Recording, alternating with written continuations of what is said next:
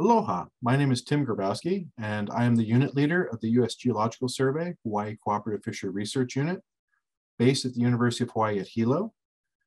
Both Hawaiian ridge to reef systems, as well as Alaskan ice field to ocean systems, face potential of climate-driven changes in extreme flow events, such as floods and droughts, that could dramatically change how nutrients are retained and transported.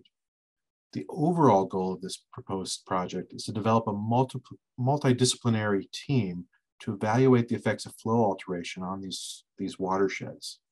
And for this project specifically, we're focusing on an invasive species in Hawaiian streams, the armored suckermouth catfish.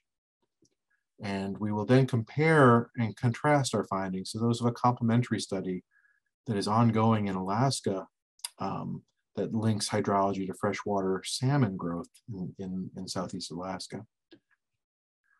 And in particular, in, the, in these Hawaiian streams that we're looking at, the armored suckermouth catfish can form extremely large populations um, and can account for a significant proportion of, of the biomass that accumulates in these streams.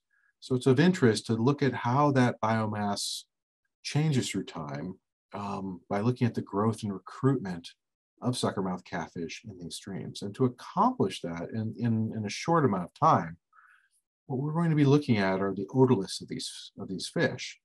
Otoliths are these acellular bony structures in the fish's head that are kind of, you could, they're almost equivalent to human ear bones. What makes them really uh, interesting and unique is that they form rings on them as they grow.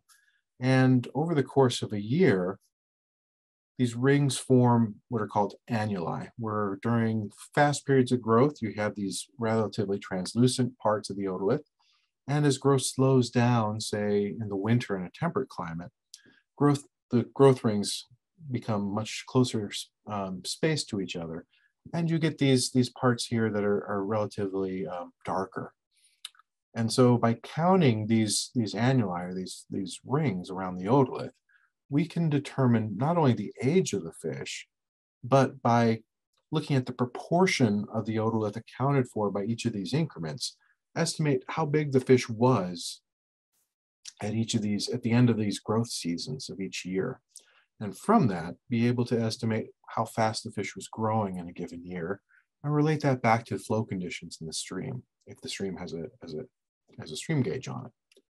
So these data will provide resource managers with critical information of linking hydrology to, to the ecology of these streams, ridge to reef streams, as well as ice field to ocean streams, and guide decisions related to habitat restoration, flow management, invasive species control, and fisheries management.